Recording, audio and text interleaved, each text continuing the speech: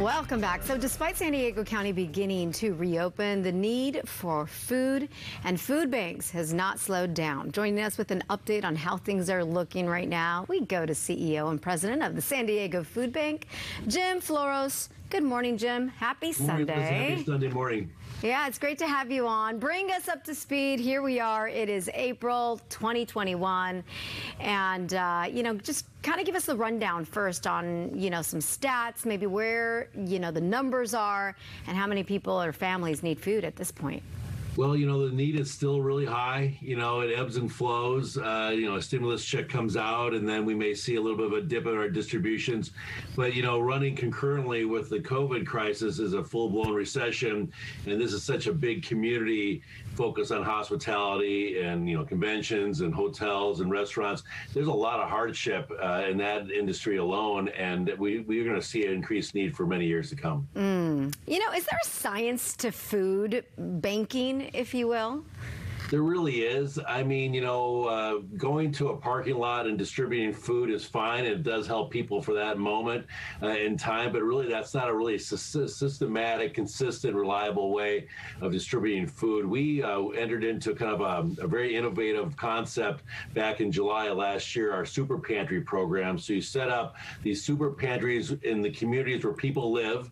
They're open at least three days a week, and now people can go right down the street, get the food they need if they miss Tuesday, no problem because it's open on Wednesday. That's really the way that you provide food to people in a reliable way that frees them up to be able to go to school, to go to work. And really, our ultimate goal in everything we do is about lifting people out of poverty and helping them become self sufficient. Making them go wait in line for hours at a food distribution is really not, uh, really lacks client dignity.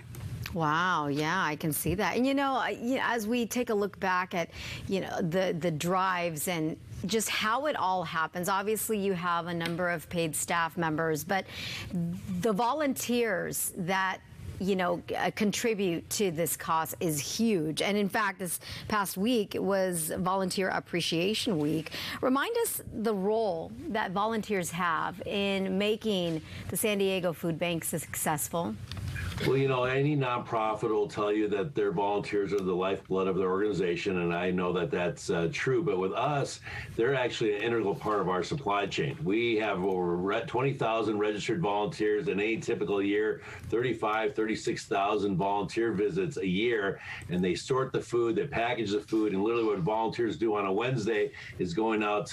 Um, on a Thursday. And one of the uh, great parts about this uh, free labor is it's worth about $3 million a year in free labor. It allows us to put more donor dollars directly uh, to service. And we had a number of uh, food banks up and down the state that struggled because their volunteers stopped coming in. Mm. not San Diego. We put the call out for individuals. Some food banks had to resort to using the National Guard, not the San Diego Food Bank. Uh, our community rallied around us, and we have about uh, three shifts, 75 volunteers every single day uh, except for on Sunday at the food bank, and uh, they're really helping us meet the need in the community. That's so awesome. And then you know the food bank is, you know, you you guys are always keeping in mind uh, what's happening, where we are, where we're at in you know the calendar year, obviously, and you know we just celebrated Earth Day, if you will. You know, talk to us about you know some may wonder, well, how does the San Diego Food Bank, um, you know, what kind of environmental efforts do you guys do?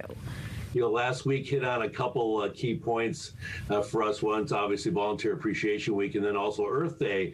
We found out maybe five or six years ago that if we were more environmentally conscious, we could actually save money, which would mean more money going towards helping people in need. So we in, in, implemented a number of different things.